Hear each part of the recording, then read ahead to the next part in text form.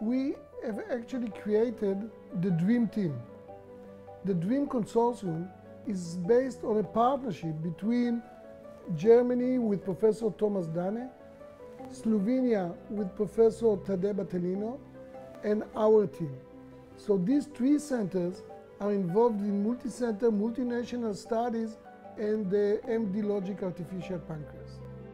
The MD Logic artificial pancreas is unique because it's actually translation of the way that medical doctor think, and this is why we call it the MD Logic, into computerized algorithms. It is personalized, it has a learning system because we understand as physicians, we understand that each patient is not only different but might change during the day. It has the ability to communicate with the patient and also with the environment, with the physicians, and with the family if needed.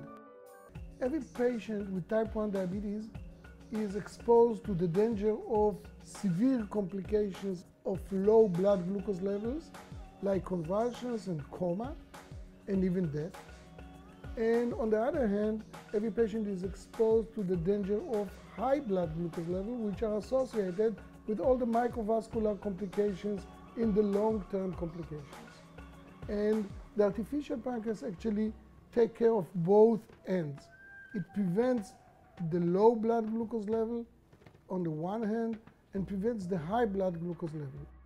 We have shown that we can keep the blood glucose level of patients in diabetes camp, the manuscript that we have published in the New England Journal of Medicine in February 2013, and in patients' home. We have done already 858 nights at patients' home.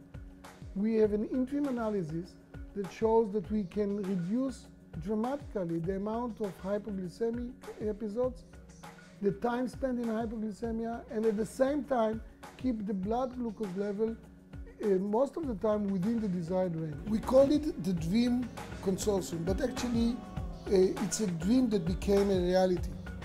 And since the system is effective and safe, we believe that this can become a reality for patients in the very near future.